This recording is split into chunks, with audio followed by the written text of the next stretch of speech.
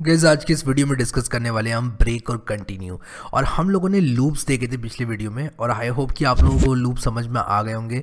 आज ब्रेक और कंटिन्यू देखेंगे। गैस अगर आप लोगों ने अभी तक ये सी प्लस प्लस की प्लेलिस्ट को एक्सेस नहीं किया है तो मैं कहूँगा कि आप लोग ये सी प्लस प्लस की प्लेलिस्ट को एक्सेस कर लीजिए, क्योंकि यही वो जगह है जहाँ पर मैं सारे के सारे वीडियोज़ अपलोड कर रहा हूँ स्टेप बाय स्टेप हमने यहाँ पर लूप्स के बारे में देखा था, हमने while loop do while loop for loop C plus plus के अंदर देखे थे किस तरह काम करते हैं।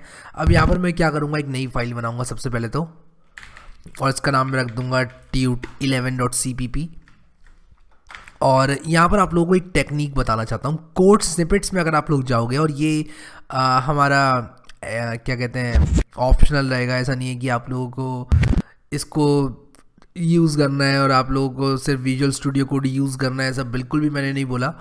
आप लोग इसको एज एन ऑप्शनल प्रैक्टिस लेना। देखो, बहुत ही अच्छी चीज़ है जो बताने जा रहा हूँ अभी। आप लोग यहाँ गेयर आइकन में क्लिक करोगे और यूज़र स्निपेट्स में जाओगे तो ये आपसे पूछेगा किस चीज़ के स्निपेट बनाना चाहते हो। आप लोग सी प्लस प्लस चुन लेना। और आप लोगों को क्या करना है, ये जो कमेंट आउट हुआ हुआ है, इसको अनकमेंट करना। और जैसे मान लो, मैं बॉयलर प्लेट नाम से एक प्रोग्राम बनाना चाहता हूँ। बॉयलर प्लेट रख दूँगा इसका नाम और मैं रख दूँगा this is a boiler plate save किया मैंने। और मैं यहाँ पर क्या करूँगा? ये लगा दूँगा। हैश इंक्लूड आयो स्ट्रीम और उसके बाद अगली लाइन में रख दूँगा। ये जो यूजिंग नेम स्पेस वाली होती है वो। और उसके बाद अगली लाइन में रख दूँगा। जो मेरी ये रहती है इंट मेन रहती है इंट मेन रिटर्न ज़ीरो तो बेसिकली मैं क्या कर रहा हूँ, एक स्निपेट बना रहा हूँ, जैसे कि हम लोगों ने देखा था पिछले वीडियो में कि हम लोगों ने बिल्ट इन स्निपेट को इस्तेमाल किया था। तो कुछ वैसा ही करने जा रहा हूँ मैं, ठीक है? तो यहाँ पर देखो मैंने ऐसे कर दिया। और ये डॉलर वन का मतलब होता है कि आपकी टैब कहाँ पर रहेगी तो मैं आप लोगों को दिखाता हूँ, ठीक है? अभी इसको बना के दिखाता हूँ, फिर पता चलेगा आप लोगों को। और फिर उसके बाद मैं यहाँ पर क्या करूँगा कंट्रोल डी करके यहाँ पर रिटर्न ज़ीरो कर दूँगा और उसी के साथ साथ मैं ये ब्रैकेट जो है बंद कर दूँगा, ठीक है? अब मैं जैसे ही सेव करूँगा इस स्निपेट को, तब आप लोग देखना यहाँ पर क्या होगा। तो यहाँ पर मैं कॉमा कॉमा लगा देता हूँ ताकि ये वैलिड जेसन रहे। तो ये मैंने यहाँ पर बॉडी लिख दी। अब अब यहाँ पर अगर आप लोग देखें तो मैंने यहाँ पर प्रिफिक्स में लॉग लिखा हुआ है। मैं प्रिफिक्स में लिख दूँगा बॉयलर प्लेट कोड ठीक है? और मैं जैसे ये करूँगा तो सी के अंदर जैसे मैं यहाँ पर बॉयलर प्लेट कोड लिखूँगा तो ये देखो, ये जो चीज़ है, मैंने एक्सपेंड कर दी है, ठीक है? और आप चाहें तो यहाँ पर कुछ इस तरह से एक स्पेस भी ले सकते हैं। तो वो लाने के लिए आप लोगों को सिंपली क्या करना है, यहाँ पर बैक स्लैश एन लगा दो, और आई गेस हो जाना चाहिए। तो मैं यहाँ पर बॉयलर प्लेट कोड लिखूँगा। ये देखो, मेरे पास एक नई जो लाइन है, वो यहाँ पर आ चुकी है। और आप लोग यहाँ पर बड़े आराम से इंडेंट्स वगैरह भी लगा सकते हो। बट अगैन मैं यहाँ पर आप लोगों से यही कहूँगा कि आप लोग इसको ज़्यादा से ज़्यादा यूज़ करें। बॉयलर प्लेट कोड मैंने यहाँ पर लिखा देखो, इंडेंट भी आ गया। और यहाँ पर भी मैं एक काम करता हूँ कि एक टैब लगा लेता हूँ। उससे क्या होगा ना कि जो मेरा टैब है, यानी कि मेरा कर्सर है, वो फाइनली यहाँ पर रहेगा। अब यहाँ पर बैक स्लैश टी हमें लगाना चाहिए। तो मैं यहाँ पर एक जो तरीका है इस्तेमाल करने का इन चीज़ों को, उसके हिसाब से इस्तेमाल करता हूँ। बैक स्लैश टी यहाँ पर लगाता हूँ। और अभी यहाँ पर मैं जैसे ही बॉयलर प्लेट लिखूँगा तो ये देखो यहाँ पर मेरा जो कर्सर है वो यहाँ पर आ गया तो डॉलर वन जहाँ पर मैंने लिखा है, वहाँ पर मेरा कर्सर आ जाएगा। तो ये एक प्रोसेस है हमारा यूज़र स्निपेट्स बनाने का। आप लोग यहाँ पर कोड स्निपेट्स अपने बना सकते हो। खैर, ये वीडियो मेरे पास इस चीज़ के लिए मैंने नहीं बनाया था, लेकिन तब भी मैं आप लोगों को बता रहा हूँ। तो मैं यहाँ पर बॉयलर प्लेट कोड लिखूँगा, भूल नहीं। बॉयलर प्लेट कोड और यहाँ पर देखो मैंने बॉयलर प्लेट कोड लिख दिया। मैं यहाँ पर डायरेक्टली इस बॉयलर प्लेट कोड को यहाँ पर ला सकता हूँ और एक फॉर लूप लिख सकता हूँ। देखना मैं जैसे यहाँ पर फॉर लिखूँगा। आप लोग देखना यहाँ पर। फॉर लिखते ही आप लोग देखना यहाँ पर क्या होगा। मैंने लिखा फॉर तो ये देखो मुझे स्निपेट मिल गया है, ठीक है? और मैं इस तरह से फोर लिख सकता हूँ यहाँ पर। और उसके बाद सी आउट आई एंडल ठीक है, इस प्रोग्राम को रन करूँगा तो ऑब्वियसली मेरे पास ज़ीरो से लेकर थ्री तक नंबर्स जो हैं वो प्रिंट हो जाएँगे, जैसे कि आप लोग यहाँ पर देख सकते हैं। अब मान लो फॉर सम रीज़न मैं चाहता हूँ कि अगर दो आता है मेरे पास, वैसे ही मैं इस लूप को एग्जिट कर दूँ। तो मैं यहाँ पर क्या करूँगा, मैं लिख सकता हूँ यहाँ पर कुछ इस तरह से if i equals to equals to two तब आप क्या करें? तब आप ब्रेक कर दें। और ब्रेक का क्या मतलब है? ब्रेक का मतलब है इस लूप को छोड़ दें। और लूप को छोड़ने का क्या मतलब है कि जो ये लूप चल रहा था, वो एग्जिट होकर सीधे नीचे आ जाएगा। देखो आई की वैल्यू टू होते ही ये क्या करेगा? बाहर आ जाएगा। तो जैसे आई की वैल्यू टू होगी, ये लूप मेरा एग्जिट हो जाएगा। तो अगर मैं यहाँ पर चालीस भी लगा दूँ, तब भी ज़ीरो के लिए लूप चलेगा। वन के लिए लूप चलेगा। टू जैसे ही होगी आई की वैल्यू वो प्रिंट तो हो जाएगा, लेकिन उसके बाद ये जो चीज़ मैंने लिख दी है ब्रेक वाली वो ब्रेक कर देगा, यानी कि लूप से एग्जिट करवा देगा, वहीं के वहीं एग्जिट करवा देगा लूप से। तो ये होता है हमारा ब्रेक ठीक है? अब यहाँ पर देखो, मैंने इसको रन किया तो यहाँ पर ज़ीरो वन टू आ गया। टू क्यों आया? क्योंकि मैंने ब्रेक करने से पहले ये कोड लिखा हुआ था। अगर मैं यही कोड ब्रेक करने के बाद लिखूँ तो टू प्रिंट नहीं होगा ज़ीरो और वन प्रिंट होंगे। क्योंकि जैसे ही ये ब्रेक एग्जिट होगा ब्रेक एग्जीक्यूट होगा, मेरा जो लूप है वो एग्जिट हो जाएगा, यानी कि मैं लूप से बाहर फेंक दिया जाऊँगा। तो मैं इसको रन करूँगा अगर तो मैं इसको ज़रा सेव कर लेता हूँ। और ये कभी कभी पता नहीं क्यों प्रॉब्लम आती है कोड रनर की वजह से।